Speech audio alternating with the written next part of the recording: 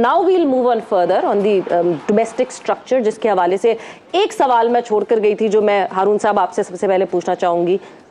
सोलह team department reason सात, फिर एकदम से छह टीम्स में shrink and then coming back to the same model again of 2014 constitution इस पूरे टाइम फ्रेम में आप पाकिस्तान क्रिकेट बोर्ड का हिस्सा थे। क्या चेंजेस हुई? आप कैसे कन्वेंस हुए कि इस सेटअप से छह टीम्स पे जाना एंड देन वापस आना है?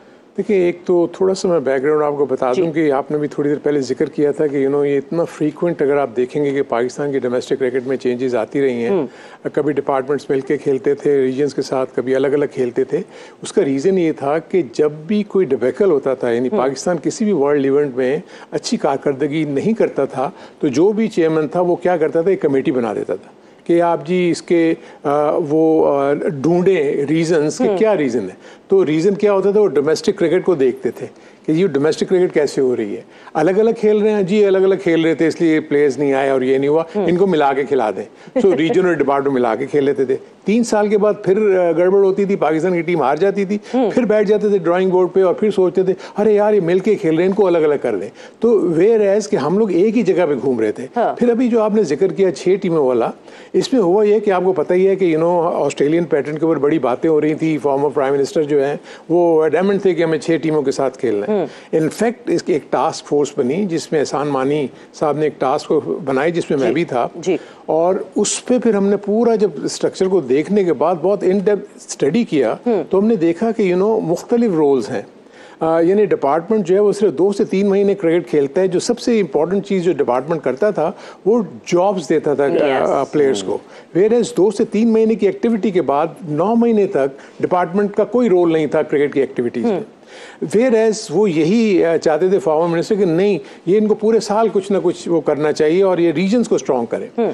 उसके लिए फिर हमने क्या किया कि मिक्स एंड मैच का एक कॉन्सेप्ट डेवलप किया एक हाइब्रिड स्ट्रक्चर हमने देखा कि किसी भी टीम को हम डिस्टर्ब ना करें हम उसको हम्म। दो डिवीज़न में ले जाएँ डिपार्टमेंट को और रीजन्स को इकट्ठा कर दें किसी की जॉब भी ना जाए सारी चीज़ें जो एज इट इज़ कोलेबोरेशन में चले और डिवीज़न वन एंड टू का कॉन्सेप्ट आने के बाद आठ आठ टीमें जो हैं वो ऊपर भी खेल रही हैं नीचे भी खेल रही हैं। रेलीगेशन एंड प्रमोशन का सिलसिला था। हम्म। जब ये कॉन्सेप्ट हम लेके गए तो वो उनको यू नो सोलह टीमों से आठ टीमों का तो कॉन्सेप्ट पसंद आ गया क्योंकि वो टीमें आठ और आठ ऊपर नीचे हो चुकी हुई थी। आ, हम्म। लेकिन वो कह लेंगे नहीं आप इसको जो है ना आप सिटी बेस पे रखा हुआ है आपने आप इसको जो है ना प्रोविंस बेस पे लेके जाओ। क्योंकि अगर सिटी बेस में आप देखें आपने जो रीजनल सिस्टम शुरू किया था वो आठ टीमों से शुरू किया आप देखें बढ़ के वो अट्ठारह हो गई हैं या सोलह हो गई हैं। तो हर कोई आके अगर अगर मैं प्राइम मिनिस्टर नहीं होता हूँ हम्म। कोई भी आपको कहता है कि जी ये वाली सिटी ऐड कर दो ये ऐड कर दो आपको करना पड़ेगा। वेर एज अगर आप इसको उसमें प्रोविंशियल बेस पे लेके जाते हो हम्म। तो उसको तो आप नहीं एक्सपेंड कर सकते। सो so, इस तरीके से फिर वो हमारे आठ टीमों का जो कॉन्सेप्ट हम लेके गए थे हम्म। जिसमें जनरल मुजम्मिल जो थे वो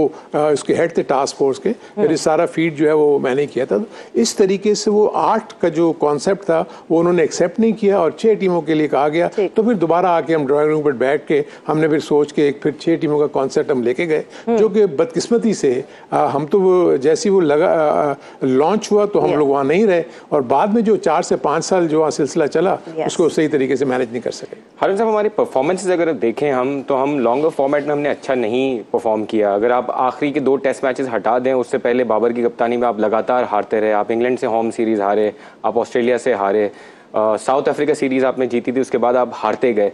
आपको लगता है कि डोमेस्टिक के इतने सारे चॉपिंग एंड चेंजेस के बाद हमें ये ज़रूर पता चला कि जब आपकी डोमेस्टिक की टीमें कम होती हैं, जब क्रिकेट कम होती है तो इवेंचुअली आप टेस्ट क्रिकेट में स्ट्रगल करते हैं। या आपको लगता है कि अचानक से छह टीमें करने की वजह से आपके इंटरनेशनल पे कोई ऐसा फ़र्क नहीं पड़ा था। So what is your take on नहीं नहीं देखिए उसमें तो कोई इशू नहीं है। देखिए अभी भी मैं आपको बताऊँ हम्म, कि हम्म। आपका जो टैलेंट पूल है ना वो चंद इलाकों में है। जी। अब वो आपका जो जहन में था कि पहले कराची और लाहौर जो है बिगेस्ट नर्सरीज हैं अब कराची और लाहौर बिगेस्ट नर्सरीज नहीं रही हैं। अब आपका आप केपी से देखेंगे जितना ज़्यादा इन्फ्लक्स इस वक्त केपी से आपको मिल रहा है। पाकिस्तान की टीम में एक वो जमाना था कि सारा पंजाब यकीनी लाहौर और कराची से प्लेयर्स होते थे पाकिस्तान की टीम में। अब सारे के सारे आप प्लेयर्स देखेंगे कि सारे केपी के से हैं। और डोमेस्टिक में भी वही उन्हीं की टीमें जीतती हैं। इन्हीं की उसमें देखिए और इसी के साथ साथ जो आपने कहा ना छह टीमों के हमें तो पांचवी टीम बनानी मुश्किल हो जाती थी। आपको याद होगा एक कॉन्सेप्ट था पेंटेंगलर का? Yes. इसमें हम चार टीमें रखते थे और जो टॉप थी और एक हम पांचवी टीम बनाते थे तो पांचवी टीम के लिए प्लेयर्स नहीं मिलते थे। आपको बलूचिस्तान को प्लेयर्स फ़ीड करने पड़ते हैं। आपको बहुत सारे ऐसे जो प्रोविंसेस हैं जहाँ पर टीमें वो नहीं बना सकते उनको हमें प्लेयर्स देने पड़ते हैं। सो ये एक इशू था। अब मैं आपको देखे ना इसी का डीमेरिट्स पॉइंट भी हैं। जो ग्रेड टू क्रिकेट होती है आपको याद होगा रीजन की जो क्रिकेट होती है डिपार्टमेंट्स के प्लेयर्स को अलाउ किया जाता है वो खेलने के लिए। एक मैं आपको इंसिडेंट कोट कर सकता हूँ कि जब लास्ट ये था जब ये अ, 2014 के कॉन्स्टिट्यूशन का सीज़न तो फैसलाबाद और कराची ग्रेड टू के फाइनल में पहुँची। और इस फाइनल में जो 12 ट्वेंटी टू प्लेयर्स खेल रहे थे उसमें ट्वेंटी प्लेयर्स ऐसे थे जो डिपार्टमेंट से बिलोंग करते थे। yeah. फैसलाबाद की टीम वो टूर्नामेंट जीत गई क्वालिफाई कर गई ग्रेड वन के लिए। The moment they qualified for the grade one अपने 11 प्लेयर से वो महरूम हो गए। क्योंकि वो 11 के 11 प्लेयर जो थे वो एसएनजीपीएल से खेलते थे जो अगले साल उन्होंने ग्रेड वन खेलना था। तो फैसलाबाद कहाँ से वो प्लेयर्स प्रोड्यूस करेगी जो जाके कम्पीट करेगी वो खेली और उसके बाद दोबारा रेलीगेट कर गई। सो so, इसको ना बहुत गौर और खौस से सोचने के बाद वो करना चाहिए। अभी भी जो ये कॉन्सेप्ट लेकर आए हैं तो हमने पुराना ही कॉन्सेप्ट वापस लेकर हैं ना। कोई नया कॉन्सेप्ट तो नहीं है। फिर अभी भी जो कॉन्सेप्ट है जरा हम थोड़ा सा उसको एक्सप्लेन हाँ, भी कर दें साथ साथ के। अब जो। कॉन्सेप्ट आया वो हम वापस उस कॉन्सेप्ट को लेकर आए हैं जो 2014 में हमने होता हुआ देखा था कि रीजन्स एक तरफ़ हैं डिपार्टमेंट्स एक तरफ़ हैं। रीजन अपना अलग खेलेंगे डिपार्टमेंट्स अलग खेलेंगे। ग्रेड टू में अलग बट गए हैं। ग्रेड टू के इवेंट को पहले नाम नहीं दिया जाता था। अब हनीफ मोहम्मद ट्रॉफी के नाम से जो है वो कहलाई जाएगी। आप अगर स्क्रीन पे भी दिखा दें तो साथ साथ हम इस बारे में बात करते जाएँ।